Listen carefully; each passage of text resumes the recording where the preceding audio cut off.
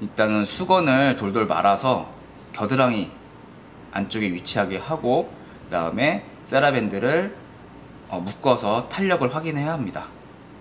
이렇게 해서 정면을 바라보시고 준비하신 다음에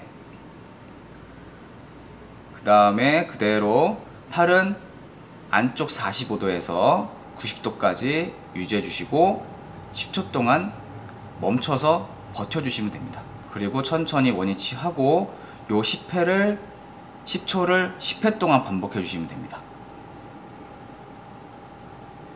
여기서 주의할 점은 팔꿈치가 너무 떨어져서 수건이 떨어지지 않게끔 주의해 주셔야 되고요.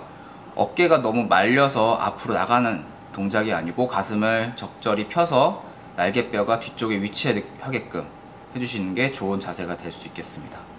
다음 두 번째 근력 강화는요. 똑같은 위치에서 90도가 팔꿈치 방향이 떨어지지 않도록 주의하면서 수직으로 팔을 들어 올려서 10초 동안 버텨주시는 운동이 되겠습니다.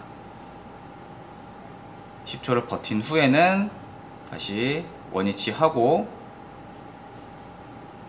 마찬가지로 90도까지 그 다음 위로 올려서 이거 마찬가지로 팔이 벌어지지 않게끔 주의하시고 10초 동안 유지하신 다음에 원위치로 돌아가신 거를 하겠습니다. 이 운동할 때 주의점은 어, 팔을 들어 올렸을 때 어, 우리가 팔꿈치랑 주먹의 위치가 각도가 생기지 않게끔 일직선이 될 수 있게끔 유지해 주는 게 제, 어, 좋은 방법이 되겠습니다. 자 다음 세 번째는요.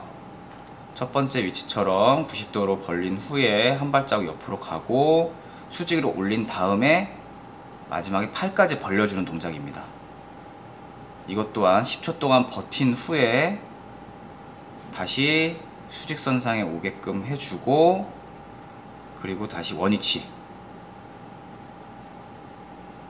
돌아가시면 되고요. 다시 45도에서 90도까지 그 다음에 수직으로 올린 후에 팔을 벌려서 버텨주시면 됩니다. 10초 동안 버텨주시고